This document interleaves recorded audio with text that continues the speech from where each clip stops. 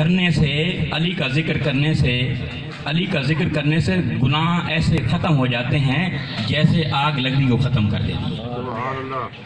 Number ایک علی کا ذکر کرنا عبادت ہے۔ نمبر دو علی کا علی کو دیکھنا عبادت۔ اور نمبر تین علی کا ذکر کرنے سے گناہ ایسے ختم ہو جاتے ہیں جیسے آگ لکڑی کو کھا جاتی ہے۔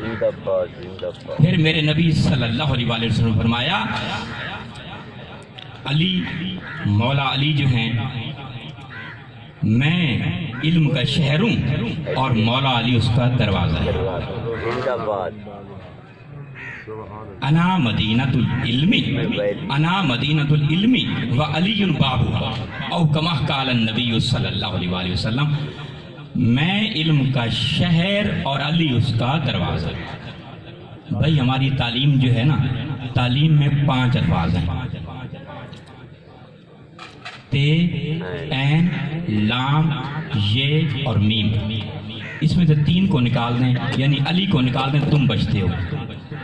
تعلیم حاصل کرنے کے لیے دروازے کا استعمال، جانے کے لیے پھر دروازے کا استعمال۔ یعنی علم کے شہر میں داخل ہونے کے لیے علی سے ملنا پڑے گا، علی کے پاس آنا پڑے گا اور جانے کے لیے بھی علی کے پاس آنا پڑے گا۔